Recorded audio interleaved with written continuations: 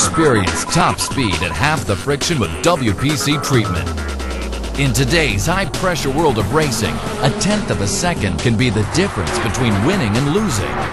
When fractions of a second count, racing teams are constantly under pressure to improve performance while keeping costs down. In a racing environment, finding that tenth of a second may well lie in the accuracy of your engine and gear components. Untreated contact points of friction inside your engine can easily overheat and crack, causing seizures and disqualifications.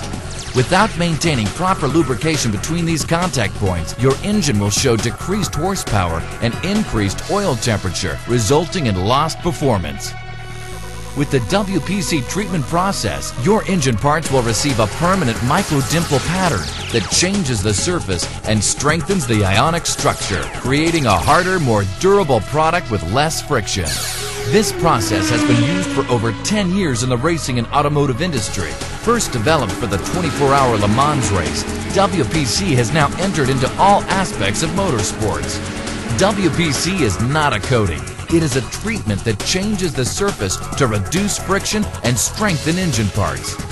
Ultra-fine particles are fired towards the surface of a product at very high speeds. The thermal discharge that takes place upon impact permanently changes the surface, strengthening the ionic structure and creating a harder, more durable final product. The resulting micro-dimple indentations act as oil reservoirs, retaining oil and keeping surfaces better lubricated. WPC's unique patented technology reduces friction and adds greater durability. The bottom line, quicker response times and better engine and gear performance.